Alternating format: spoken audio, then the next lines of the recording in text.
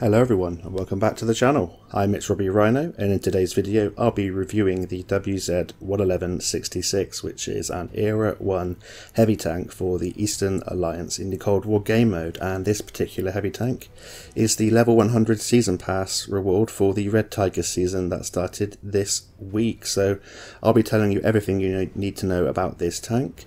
I'll show you my equipment and commander setup and I have three replays for you to try and demonstrate how I play this tank and how I get the most out of it. And if you haven't guessed from the um, thumbnail and the description, I find this heavy tank to be very mediocre and quite disappointing. But having said that, you can have some good games with this tank. It'll make you some good silver, and if you've bought the pass, then you know why not give it a go, especially if you like your heavy tanks.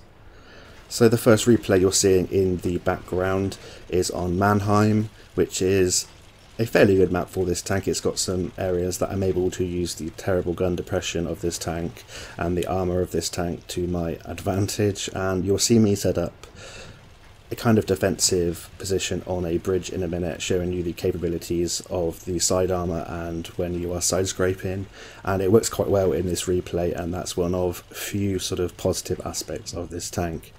But anyway, let's get stuck straight into the statistics of this tank then. So it has 2,200 hit points, which is about where it should be. It has quite low sort of view range at 435 meters, but with the True Vision system and it being a heavy tank, you're going to want to try and get into uh, short to mid range engagements and side scrape and use your armor and your turret armor to your advantage, so it's not too much of an issue. In terms of its mobility, uh, you go 50 kilometers an hour forwards, uh, but unfortunately it has only 15 kilometers an hour backwards. So getting out of trouble if you get yourself into it, which I do quite frequently, it can be a bit of a pain.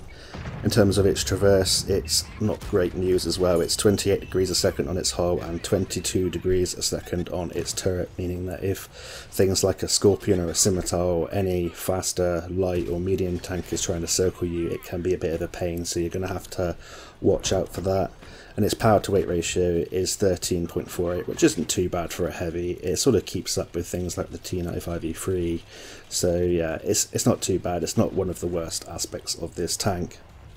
So then we come on to the gun, which is um, good and bad news in a way. It's a 120, 122 millimeter gun with 390 alpha damage, and I was kind of hoping it being a Cold War heavy tank, it would have sort of 440 alpha damage on this 122 millimeter gun, especially because you low roll because of the RNG changes or the difference between the RNG in Cold War compared to the World War II game mode. But having said that, it's still a relatively large chunk of damage you take from your opponents. So it's 390 alpha damage on its standard APCR rounds and 390 on its premium heat rounds, and it has 530 alpha damage on its HE rounds. The penetration is low on its standard APCR rounds at only 248 millimeters of penetration, which is why I carry 10 rounds of heat, which is 320 millimeters of penetration. And bear in mind that APCR loses penetration over distance, whereas heat doesn't. So if you're firing at long range, you might want to uh, switch out and try the heat rounds. In terms of the HE rounds, it's 61 millimeters of penetration for 530 alpha damage, but I don't carry any. I just carry APCR and heat. Um, another bad point, and I know there's quite a few that I'm going to be going over in this video, is the shell velocity. It's slow at 930 meters a second on the APCR, even slower at 820 meters a second on the heat, and even slower again at 795 meters a second on the HE. And it's just not sort of a good um, value in my opinion for shooting at mid to long ranges. You're going to have to want to give a lot of lead and this gun feels quite derpy even with a 9 skill commander and you know a good equipment setup so you're going to have to watch out for that and sometimes the, the shells just have a mind of their own and they just derp up into the sky or to the ground as you'll see in these replays in terms of its DPM, it has a 5.45 rounds a minute of a DPM of 2,125. 11 second reload, which is quite long, and a long aim time at 2.7 seconds. And one of the worst things is the accuracy at 0.42, meaning that it is extremely inaccurate, even with a 9 skill commander, like I said, and a good equipment choice. Um, so yeah, don't be surprised if sometimes your shells just decide to derp or they miss the target. And for a sort of Cold War tank, it, it's incredibly frustrating, especially if you're firing at mid ranges to long ranges. Another bad point about this tank is the gun depression, which is only 5 degrees, meaning that a lot of ridge lines you just can't use unless you expose more of your tank than you want to. But it does have 23 degrees of gun elevation, which is more than enough, and it carries 45 rounds of ammunition, and with that long reload, you definitely won't be running out of that. In terms of its armour then, um, it's similar to the Alpine Tiger if you played that in World War II game mode. It's got 230mm of armour on the front of the turret, 120 on the sides and 60 on the rear. Uh, if you're using your 5 degrees of gun depression, your effective turret armor is about 280mm to 300mm to the left and right of the mantlet. And if people do shoot at your turret and they shoot the sort of far edges of the turret, you're looking at about 350 millimeters of effective armor, so that will bounce quite a lot of rounds, especially in Era 1 without your gun depression, if people are looking straight at you, um, it's roughly about the same. To the right of the mantlet, there is a spot, a spot which is about 280 millimeters, but obviously um, people will have to be firing sort of premium rounds in Era 1 to go through your turret like that. In terms of your hull, if people are looking at you straight on, your hull is about 230 millimeters of effective armor and if you're using your gun depression it goes up to about sort of 300 millimeters and it's kind of piped like an IS-3 is. So if something's uh, side scraping just shoot the armored plate which is nearest you and you should go through so in that game we finish with um, 4.2k direct damage, 834 assistance. We block 3.4k, 4 kills, make some nice silver, and finish MVP. So we'll hop on into the second replay and talk some more about this tank. So we're now into the second replay of the video and we're here on Vineyards and you'll see me in this replay sort of testing out the shell velocity and the accuracy of this tank. This is one of the first games I played when I got this tank and um, I missed quite a lot of shots but I end up having a decent game, especially a decent game considering that I find this tank quite disappointing and quite um, quite poor really. Um, but we'll just finish off talking about the armor sort of values and then I'll show you my equipment and my commander setup and then we'll get talking about what's happening in the gameplay. So in terms of that plate I just talked about at the end of the last video, it's not as pronounced as an IS-3, but it kind of does have a sort of pipe-nosed um, front. So if this tank is side scraping against you and it's showing you the front of its hull, you just aim to the armoured plate which is nearest you, and it's roughly 200 millimeters of effective armour, and you should go through that no problem. Um, the other two things to mention are the um, cupolas and the armor values on them range from about 180mm to 250mm depending on whether this tank is using its gun depression. So you're going to go for it most of the time so that's the best place to aim. If all you can see is the turret or you can just put heat straight through the front of the turret um, whichever whichever way you want to go um, you're still going to make silver in Cold War so um, no wonder people fire a lot of gold. I, I fire a lot of gold sometimes myself. Um, I don't find heat particularly useful in Cold War, but in Era 1 you can make it work where there is slightly less space armor than there is in Era 2 and Era 3. So in terms of my equipment and my commander setup then, with my equipment I run a gun stabilizer, improved ventilation and advanced loader. I'm just trying to increase my DPM, uh, increase my accuracy and the vents just to improve everything about this tank including the accuracy and a tiny little boost to my view range although that isn't too important.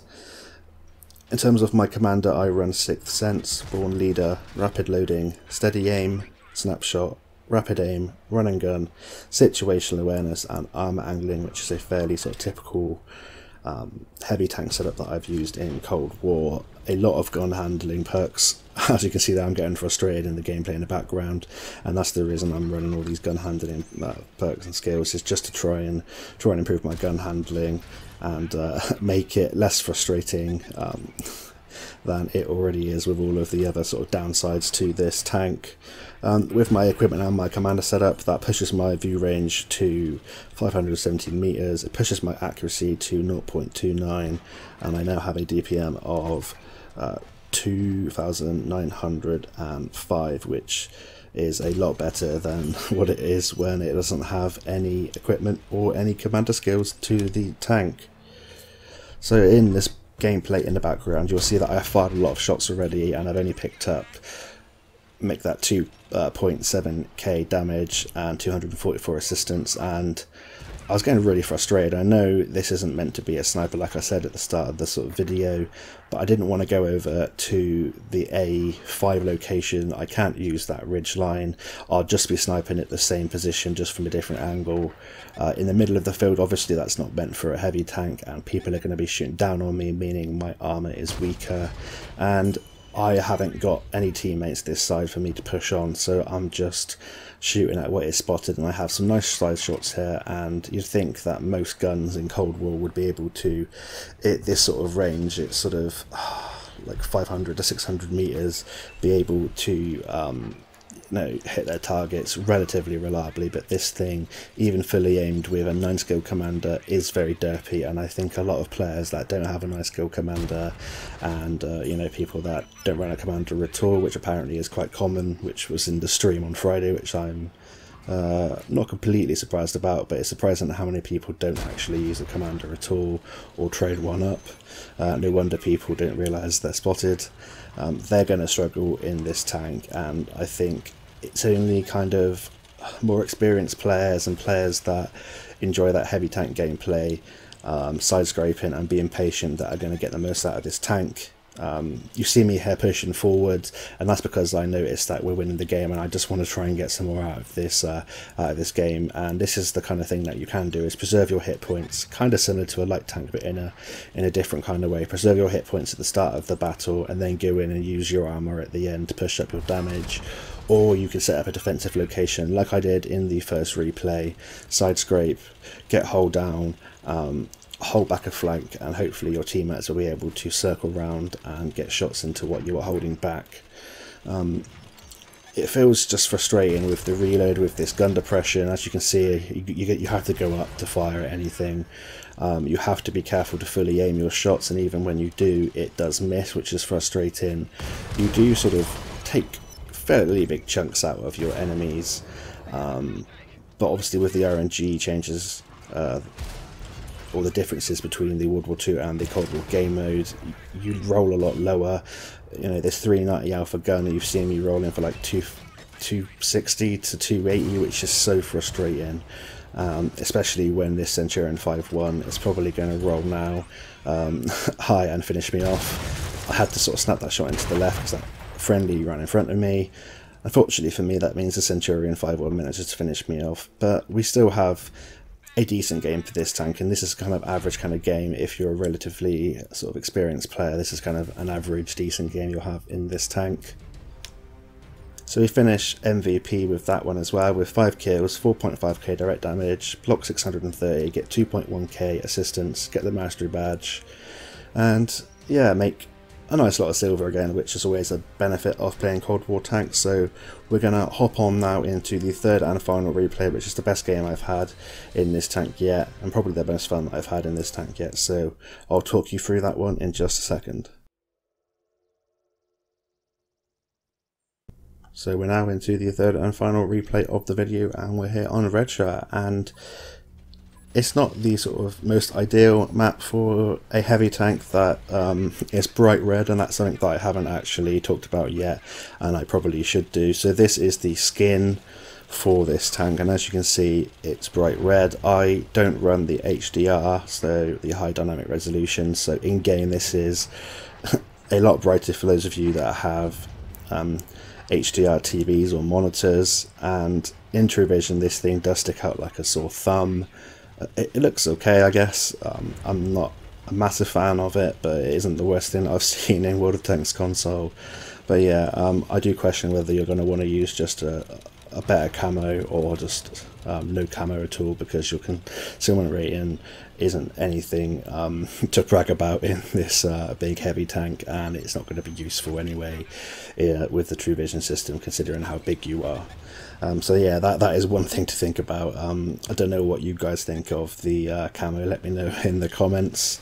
Uh, it's okay, but yeah, it's bright red and yeah, a bit of a weird choice um, when you're able to be spotted or you're able to be visible anyway all of the time. So it's not a good map anyway because of the open nature of this um, of this map and all of the ridge lines and I only have 5 degrees of gun depression.